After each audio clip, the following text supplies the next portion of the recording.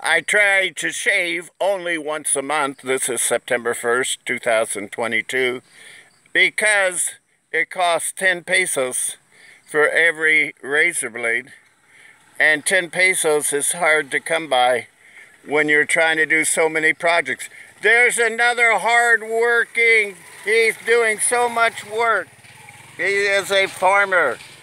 But we're proud to be farmers here in the Laog Barangay in Angat, Bulacan, with the mayor, Honorable Renete Joao Bautista.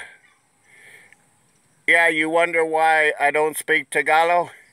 Because I don't don't pronounce I don't pronounce it correctly. People tell me don't speak Tagalog. You you you you mess it up. Thank you for watching and God bless the Philippines. Anyway, there's 90 dialects. I can speak Isnag, but no one here except my wife understands Isnag. Thank you for watching and be sure and subscribe.